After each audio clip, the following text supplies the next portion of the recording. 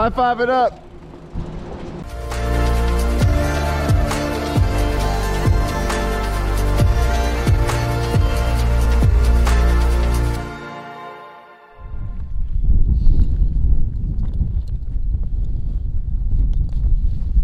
Ooh, I don't look good. Haven't slept much. It's been a little windy. It's about five in the morning, and I'm gonna try to get going because the National Weather Service has issued a wind advisory, very strong gusts. So I'm gonna try to ride before it gets way too gnarly, and uh, I'm up, so why not go right now? Yay! There's also quite a bit of moonlight, so that should help guide me. It's pretty bright outside. All right, need to make sure I didn't leave anything behind. It's not often I pack up in the windy dark. Should be good. Thank you, beautiful piece of flat ground right next to this crater you can't really see right now. Let's go ride bikes. It's an adventure. Oh, and there's the moon. There's the moon. Lead the way, moon.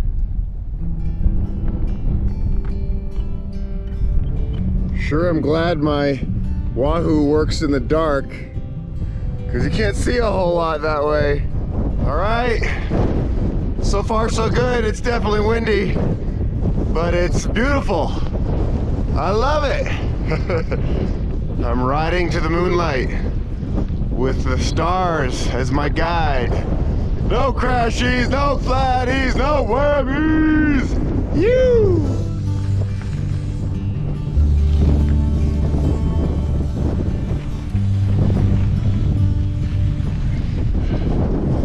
Oh, it's definitely windy. Oh boy. And it's supposed to get way windier.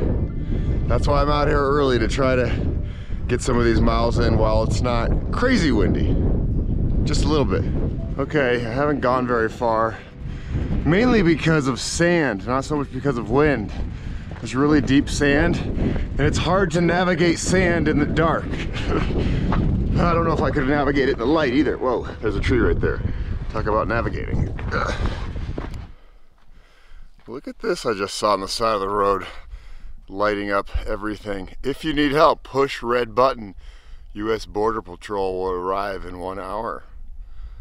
Bayuda. Wow, this is interesting. Maybe I should push this. See how fast they come. Just kidding. I don't need help. But maybe you could uh, turn the wind off. That'd be cool. I'm guessing they put this here for uh, people who are coming across the border from Mexico. Look at that image just a dehydrated, dying human. That's crazy. Huh. Well, back into the darkness. It's a beautiful time to be riding a bike.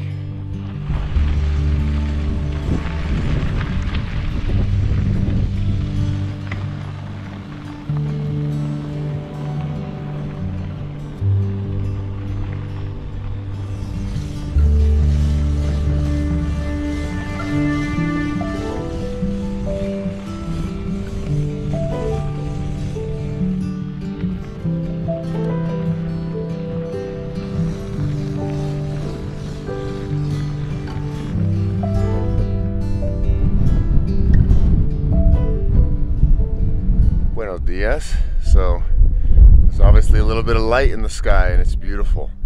Even though it's not fun to wake up in the dark and pack up everything when it's blowing around. It's beautiful to be on the road this early. I never wake up this early if I don't have to. And today I kind of have to to beat this wind. All right, bike, I know we woke up early. But get up. I know you're tired. get up, bike, let's go. All right, so the sun is on its way.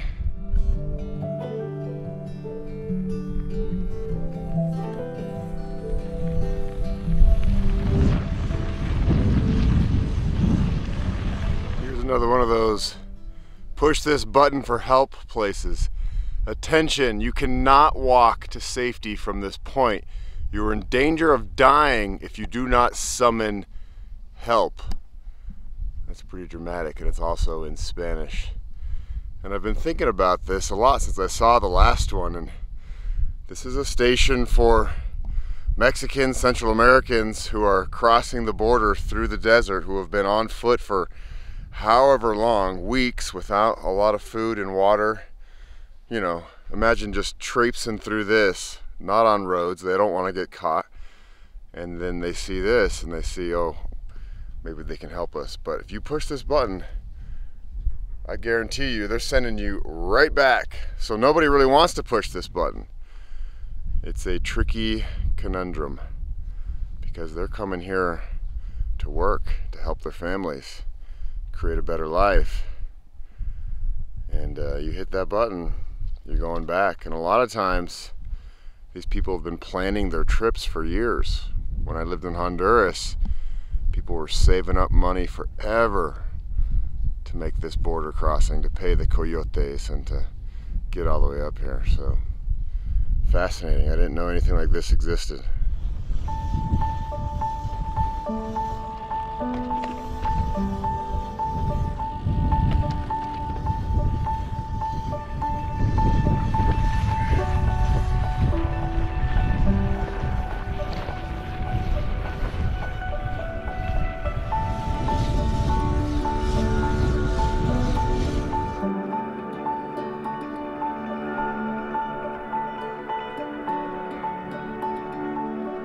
Funny, it was really windy at like 5 in the morning, but right now it's completely still. The National Weather Service is saying 10 a.m. it's all going to break loose.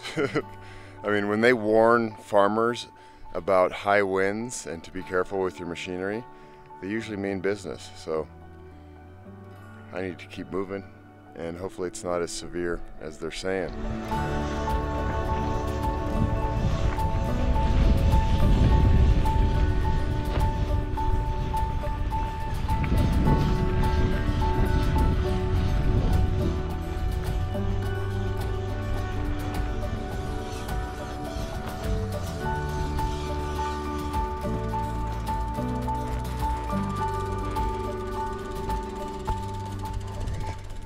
I've been riding for two hours. I've only gone nine miles.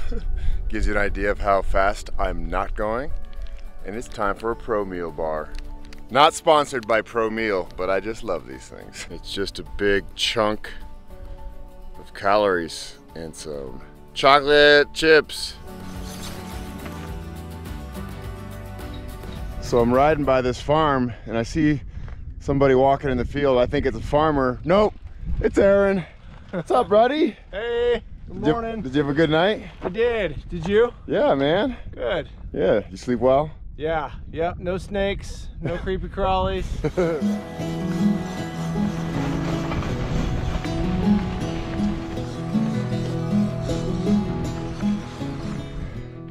Buenos dias, Kyle. Buenos dias. How you doing, buddy? Doing good. Danger Bird day four. Yes, sir. I'd like to think that it's the final day. it better Um, yeah, slept here. The ground was soft. yeah, look at that nice soft sand you found. I know. It, it, well, we found plenty of it walking through it yesterday. I think the wind's in our favor. Be quiet. Don't taunt it. I've learned my lesson.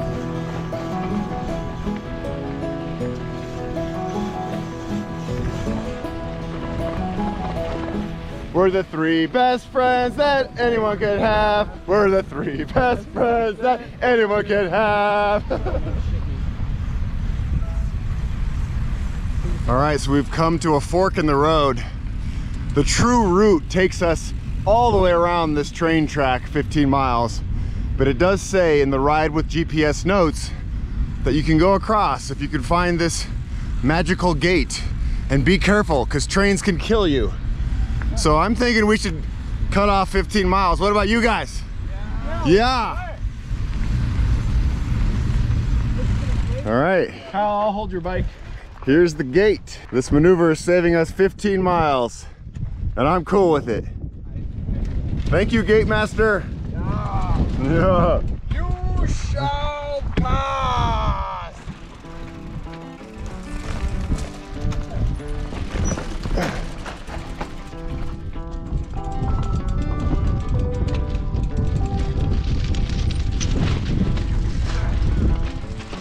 Dun dun. All right, we did it. I feel like we just got a cheat code in a video game. So I want to give you an idea of what we just cut off. So the route goes all the way left, over, back, boom. But uh, we went straight across right here. Way easier. Let's go to Las Cruces. Yeah.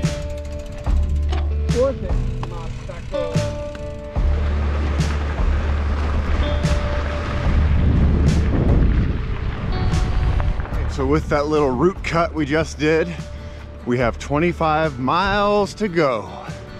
And I don't want to jinx myself, but the wind has not been a factor yet. It might even be helping. It feels like a bit of a tailwind. Oh, which is so nice. I was really kind of anxious last night reading about all these high wind advisories. But so far, so good.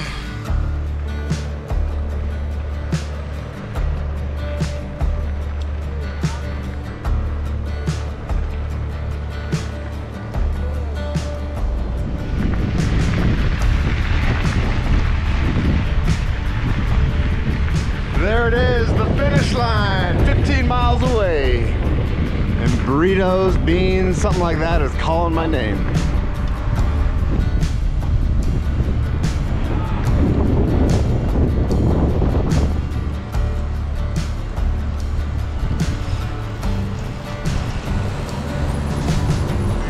And here we are, right back where we started on Saturday. Today is Tuesday.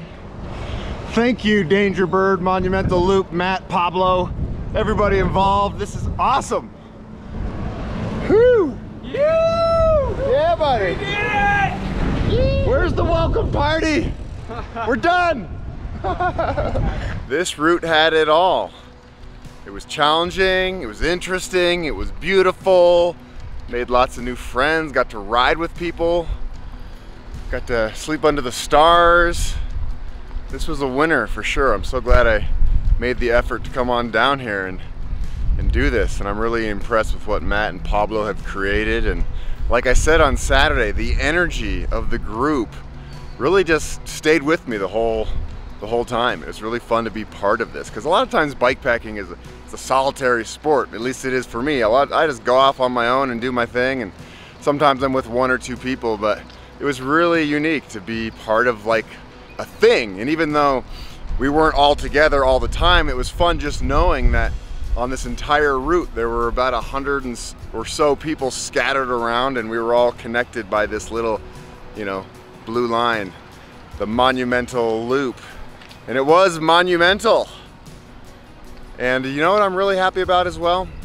The heat. It's warm. I feel like I got some bonus summertime. Thank you so much for watching this series please like and subscribe and tell all your weird friends about my channel. That's the best way to have my channel grow is just word of, word of mouth. And I like weird subscribers. I like weird people. You know what I'm saying? Bam! Yeah. High five it up. Bam! Yes. Okay. Beans. Time for beans. Oh yeah, there we go. Good work, hombres. so ready for this.